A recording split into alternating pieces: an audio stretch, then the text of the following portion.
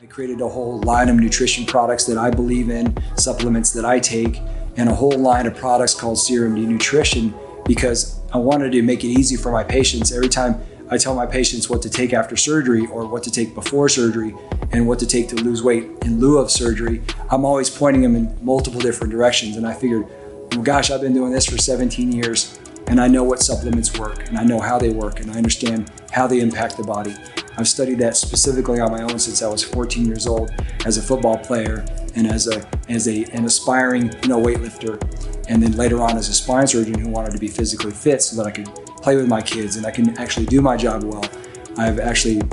done a lot of independent research about what supplements work the best. And so I'm creating a line called CYRx MD Nutrition that will have all the products that I that I take myself, all the products that I think will help patients to maintain a fit body and to recover from surgery.